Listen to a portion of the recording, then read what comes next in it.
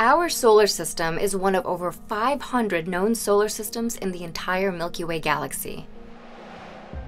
The solar system came into being about 4.5 billion years ago when a cloud of interstellar gas and dust collapsed, resulting in a solar nebula, a swirling disk of material that collided to form the solar system. The solar system is located in the Milky Way's Orion star cluster, only 15% of stars in the galaxy host planetary systems, and one of those stars is our own Sun. Revolving around the Sun are eight planets. The planets are divided into two categories based on their composition terrestrial and Jovian. Terrestrial planets, including Mercury, Venus, Earth, and Mars, are primarily made of rocky material. Their surfaces are solid, they don't have ring systems, they have very few or no moons, and they are relatively small. The smallest and closest to the Sun is Mercury, which has the shortest orbit in the solar system at about three Earth months. Venus is the hottest planet, with temperatures of up to 867 degrees Fahrenheit due to an atmosphere of carbon dioxide and extensive lava flows. Next to this world of fire is a world of water, Earth. The water systems on this planet help create the only known environment in the universe capable of sustaining life.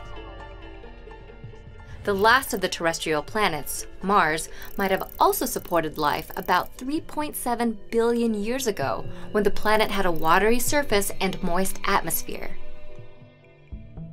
Beyond the four terrestrial planets of the inner solar system lie the Jovian planets of the outer solar system. The Jovian planets include gas giants Jupiter and Saturn and ice giants Uranus and Neptune. The gas giants are predominantly made of helium and hydrogen, and the ice giants also contain rock, ice, and a liquid mixture of water, methane, and ammonia. All four Jovian planets have multiple moons, sport ring systems, have no solid surface, and are immense. The largest Jovian is also the largest planet in the solar system, Jupiter. Nearby is Saturn, the solar system's second largest planet.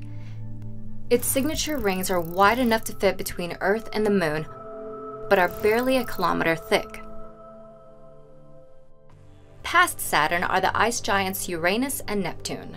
The slightly bigger of these ice giants, Uranus, is famous for rotating on its side. Next to Uranus is Neptune, the outermost planet in the solar system and also one of the coldest. Orbiting the terrestrial planets is the asteroid belt, a flat disk of rocky objects full of remnants from the solar system's formation, from microscopic dust particles to the largest known object, the dwarf planet Ceres. Another disk of space debris lies much further out and orbits the Jovian planets, the icy Kuiper Belt. Apart from asteroids, the Kuiper Belt is also home to dwarf planets such as Pluto and is the birthplace of many comets. Beyond the Kuiper Belt is the Oort cloud, a vast spherical collection of icy debris. It is considered the edge of the solar system since that is where the gravitational and physical influences of the Sun end. Our solar system's particular configuration of planets and other celestial objects, all revolving around a life giving star, make it a special place to call home.